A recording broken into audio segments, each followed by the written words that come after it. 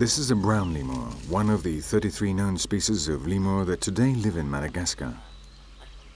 Just a short distance away, another lemur, in this case a black and white one, observes its small, noisy relatives.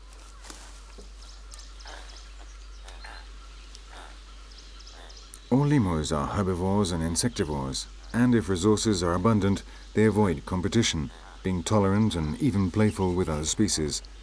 But this black and white lemur, who just wants a bit of peace and quiet, doesn't seem to be at all amused by his neighbors.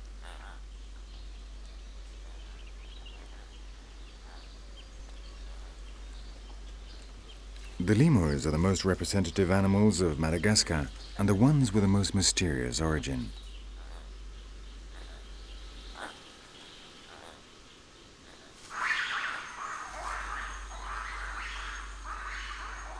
In evolutionary terms, they are closer to the ancestral primates than more modern types of simians, and their appearance and behavior has led man to consider them since the time they were discovered as strange beings halfway between animals and spirits, which has earned them their name, lemur, a Latin word meaning the spirit of the dead.